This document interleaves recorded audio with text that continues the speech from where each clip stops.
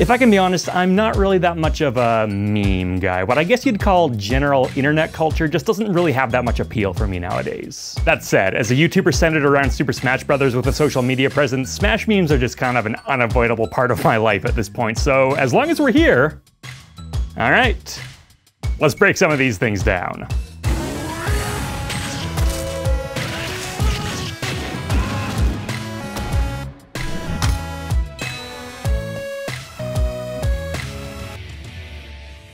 Let's establish a couple of things real quick before we begin. I'm going to limit the content of this video to memes which are relevant to Ultimate because as absolutely fantastic as... and are, I've only got so much time to work with. I'm also by no means trying to make a comprehensive list of every Ultimate meme in existence, just some of the more prominent ones I've seen, so if I get enough good suggestions in the comments, who knows, maybe there can be a follow-up video at some point. Alright, meme time. In line with the most recent DLC release, let's tackle Fire Emblem's representation in Smash. Marth's had two direct clone characters over the course of the series, as opposed to semi-clones, tied for the most alongside Mario, which has understandably raised some eyebrows given the difference in pop culture relevance between these two. However, within the scope of Super Smash Bros., Marth is arguably more important. While Mario was a brawler alongside other brawlers, Marth was the first pure swordsman ever seen in the series, and set the design template for the archetype that others are still compared against. This naturally includes other Fire Emblem representatives to date, all of which have utilized the sword, although with clones removed, I wouldn't necessarily say they share dramatically more DNA with Marth than some other sword fighters do. Then again, people have had their issues with those characters as well, and out of every DLC fighter introduced in Super Smash Bros., a practice that started on the Wii U, 6 out of 13 have used a sword or a knife. If we include characters with very sword-like characteristics, that number rises to 8. Staying on the topic of rising, it's no secret that the Fire Emblem series representation within Smash has exploded over the previous two entries. Melee introduced one rep and a clone. Brawl kept this number the same, then in Smash 4 it became 6, then in Ultimate 8. Correlate this with Fire Emblem sales over the years, and the results do look somewhat sensible, but how sensible exactly are they? There are 36 total franchises represented among the playable roster of Ultimate. Out of all of those, Fire Emblem has eight representatives, tied for second most in Smash alongside Pokemon and losing only to Super Mario.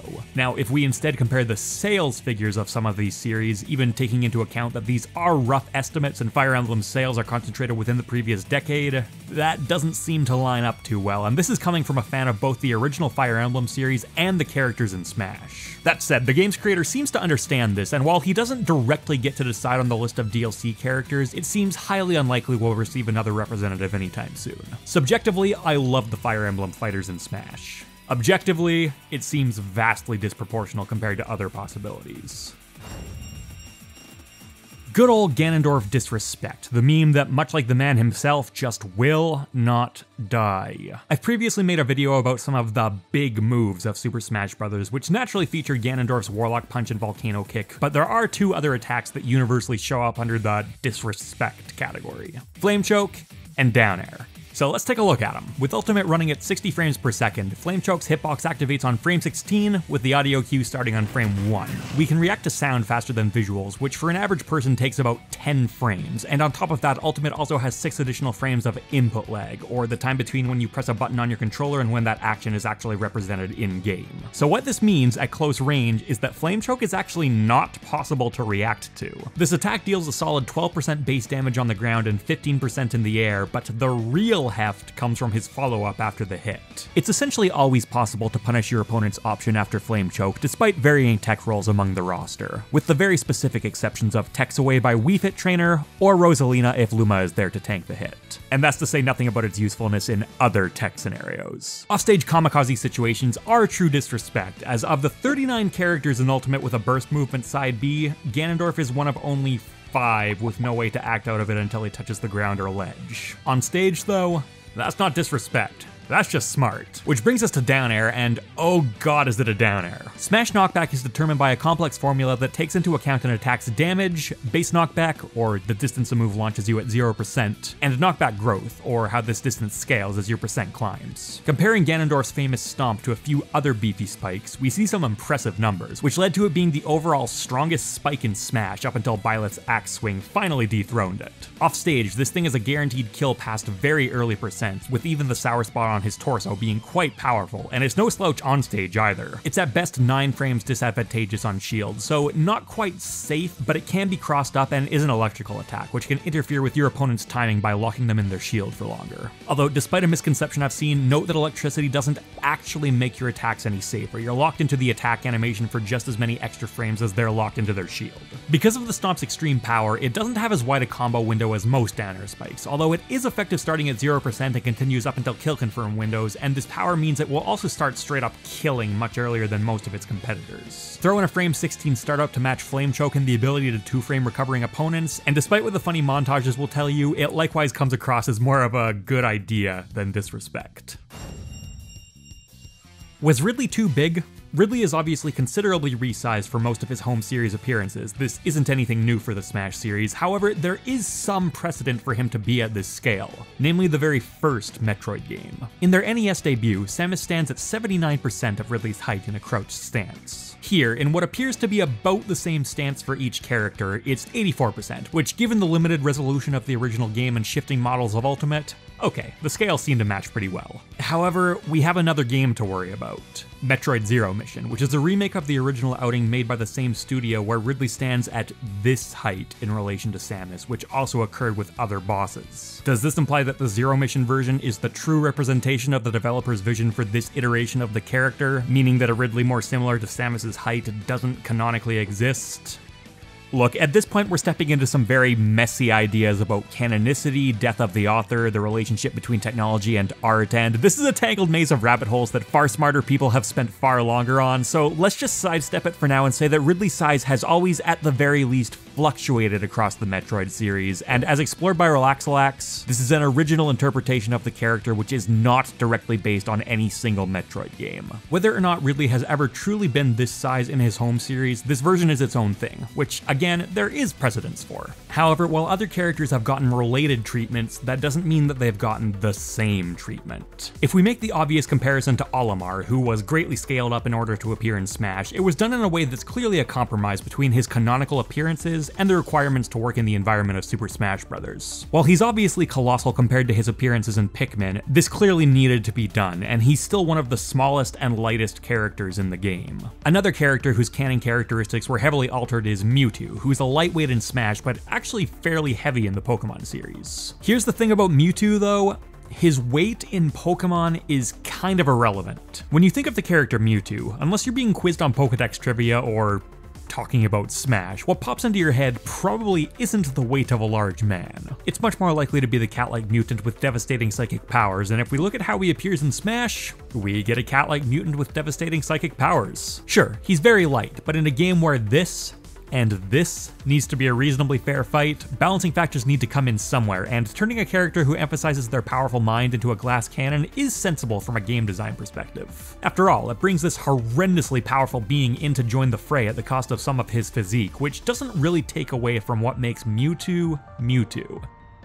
I don't know if you can say the same about Ridley. For essentially all of his appearances, or again, arguably all, depending on how you interpret Zero Mission, Ridley's intimidating stature is one of his defining attributes. A mighty dragon with Samus the Knight in shining armor sent to slay him. He drags her across the wall, his stomps send shockwaves through the ground, he swoops ominously through the sky, relishing in the all-encompassing shadow he casts on his next victim. Sakurai and his team were acutely aware of this when developing the character for Super Smash Bros., but in terms of actual Smash gameplay, Ridley is lighter than Samus, which if you look at this flying, spindly lizard out of context can kind of be justified, but it requires a major reinvention of the character, and it's not the only instance. Metroid typically portrays Ridley as a lumbering monster, moving quickly only in short bursts. This translates into Smash when he walks, but his run is actually very fast. If we look at the animation, he is using his wings more than his legs, so that makes some sense except that his air physics and recovery are quite limited. His wings come across as more powerful when he's on the ground, which is a bit strange, and while you could argue that poor aerial performance is a common characteristic of heavyweights, to repeat, He's not terribly heavy. Olimar's changes were made in order to successfully transfer him to the environment of Smash, and Mewtwo sacrificed minor elements of his canon appearances for the sake of balance, but Ridley's transformation is far more dramatic than either of these and leaves us with a strange variety of traits on display, which I suspect there's a reason for.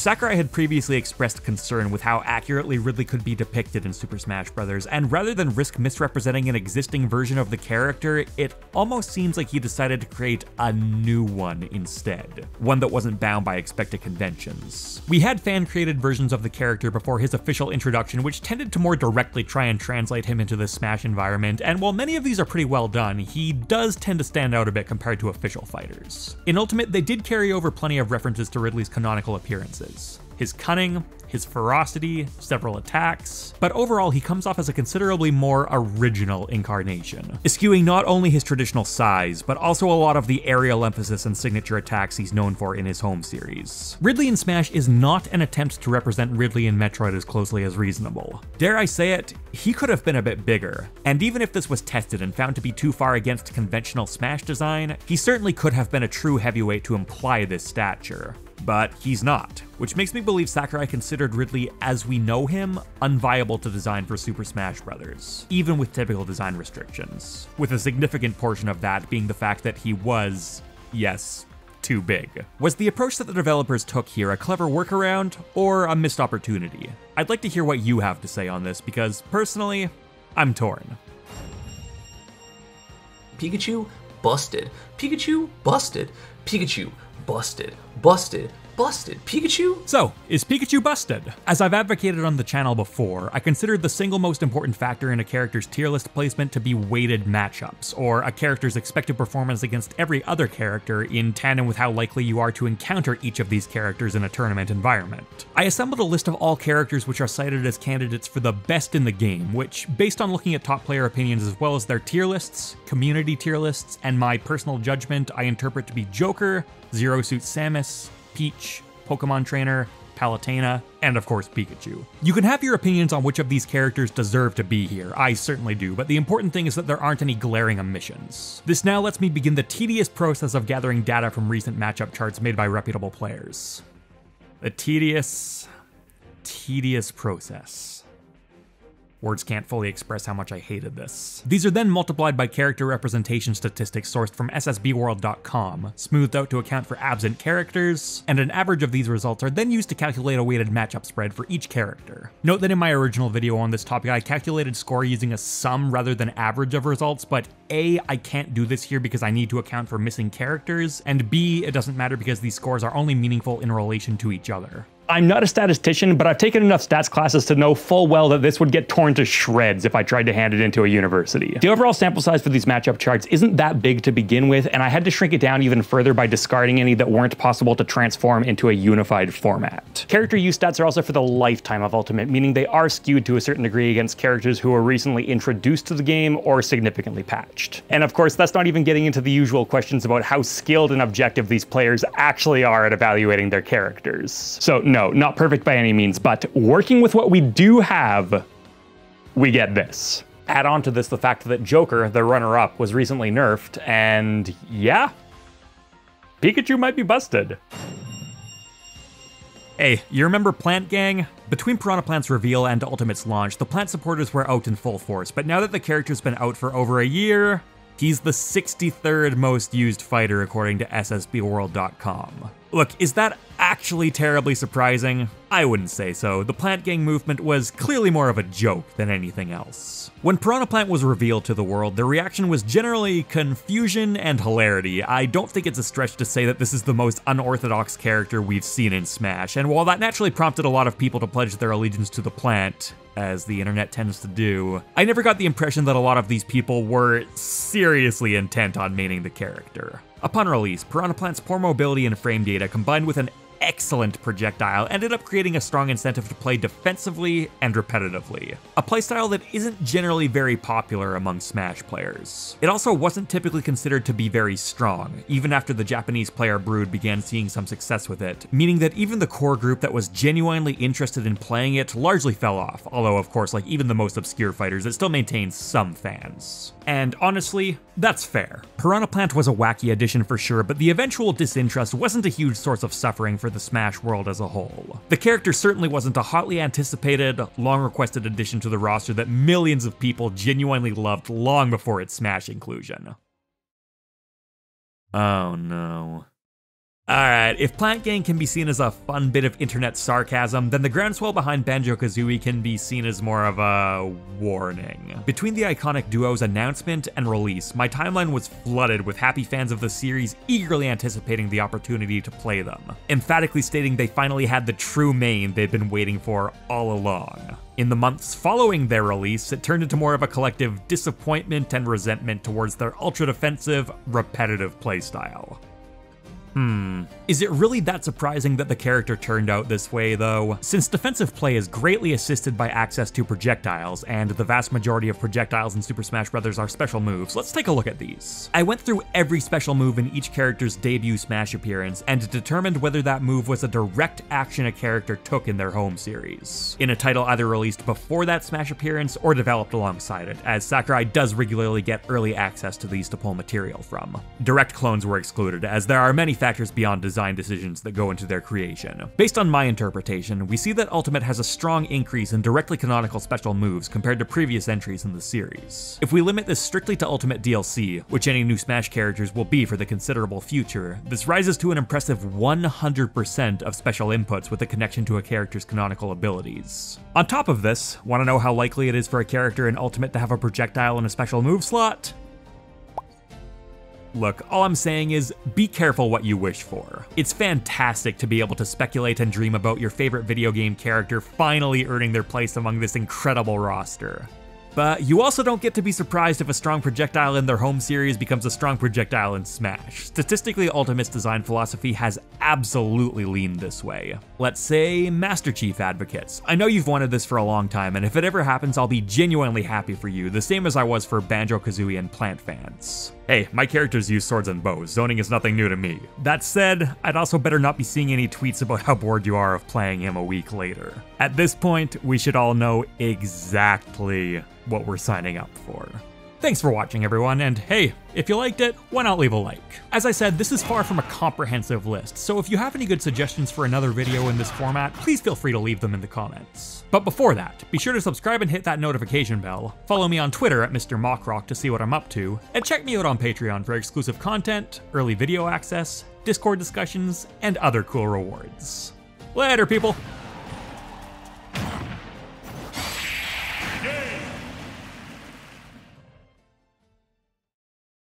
Alright, the concept of a well-designed Smash character will change quite a bit depending on who you ask, so here are a couple points of criteria that I personally looked at when I was making this list. Will the player feel restricted in an unexpected way? Today we take a deeper look at only the biggest of big moves Smash Ultimate has to offer, why they don't see much play on the tournament stage, and what you can do if you are desperate to pull them off.